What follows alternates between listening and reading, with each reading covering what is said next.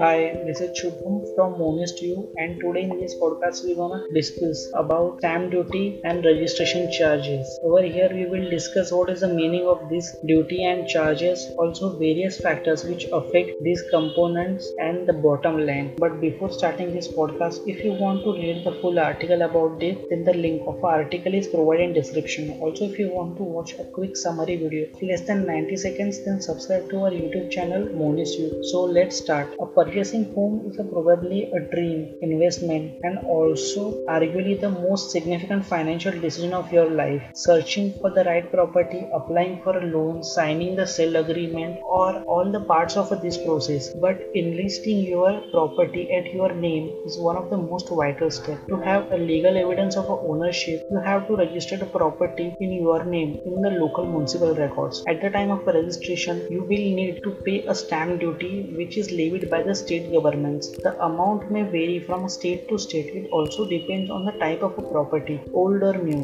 As a stamp duty adds up to the property cost, it is vital to have a fair estimate before purchasing any property. So now let's understand what is this stamp duty exactly. A state government levy a tax on the sale of all property or property ownership within their jurisdiction. It is known as a stamp duty and this duty is payable under section 3 of a Indian Stamp Act 1899. State collect this stamp duty to legalize your registration agreement. You will need a stamp duty paid label on your registration document for it to serve as a legal record for your ownership of a property. The transferee usually pay the stamp duty unless there is an arrangement for the contrary is made. However, both parties have to bear the stamp duty equally in the case of exchange of properties. Now let's discuss what are the different factors which determine the stamp duty charges. The first one is the age of a property. The age of your property play a vital role in determining the stamp duty charges since it is charged on the total value of a property. Market research shows that newer property tend to attract a heavier stamp duty charges compared to the older one. The second factor is the age of a property holder. Most states charge senior citizen lower stamp duty charges and hence your age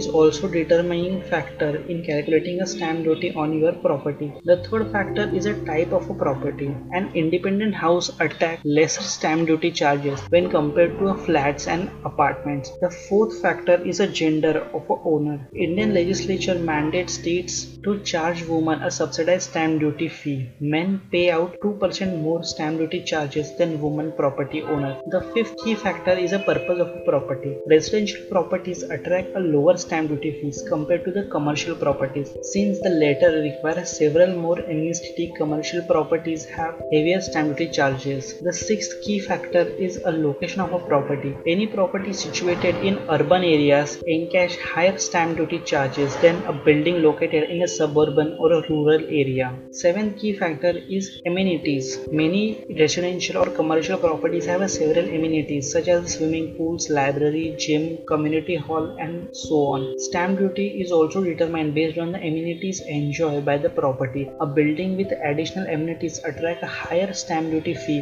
other than one which has a lower or no or few amenities. Now let's understand what is a registration charge over here. All users need to pay a cost for the state government to put a contract or a deed in the state record. It is known as a registration charge. The Indian Registration Act 1908 dictate how state governments register the documents. Within the stamp duty fee may vary accordingly to state. The registration charge is usually kept at a minimum of a 1% of a property price. However, it may vary according to a gender and some factors. Now let's discuss what is a bottom line over here. Stamp duty acts as a legal evidence that the purchase of a property has been completed and registered in owner's name. It is imposed on all legal property transactions and is valid for a 6 months. Several documents require stamp duty such as mortgage deed, certificates for sale, partitions and lease deeds, power of attorney among others. Be sure to check a relevant stamp duty charges before buying an property. If you want to read the full article about this then the link of article is provided in description. Also if you want to watch a quick summary video of less than 90 seconds then subscribe to our YouTube channel Monist View. Thank you guys for joining with us for this podcast over here Shubham from Monist View signing off.